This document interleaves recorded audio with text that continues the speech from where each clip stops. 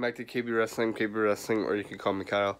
Uh, don't know what's gonna happen on Monday Night Raw, but Paul Heyman has said his client Brock Lesnar decides that he will cash in this Monday on Seth Rollins at any given time during Raw for the Universal Championship, meaning he will not cash in on Kofi, but he will cash in on Seth Rollins, the Universal Champion. So, Paul Heyman posted this on Twitter and uh, his social media is saying Brock Lesnar will do this. Now I don't know what will happen. You know, Brock Lesnar was like, "Screw you, I have a year." So I don't know what this is because I know Stephanie wants to punish them both for being being uh, disrespectful. So I don't know what their game is here.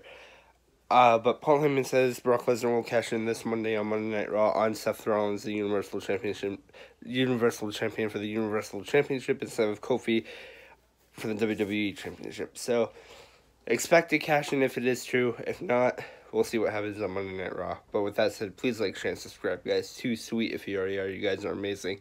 Remember, guys, it's YouTube. Stay drama free.